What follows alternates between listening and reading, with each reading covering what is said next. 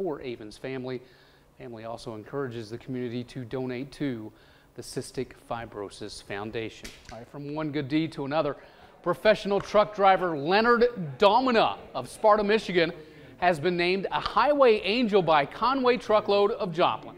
Domina helped a 17-year-old back in December who had actually rear-ended him.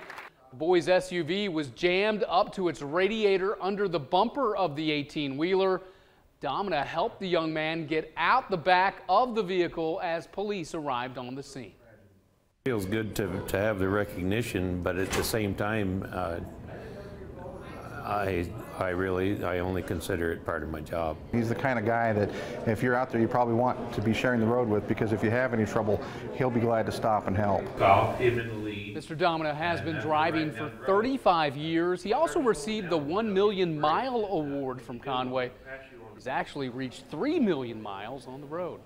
A new report says Pope Francis might be open to civil unions, but not necessarily for same-sex partnerships.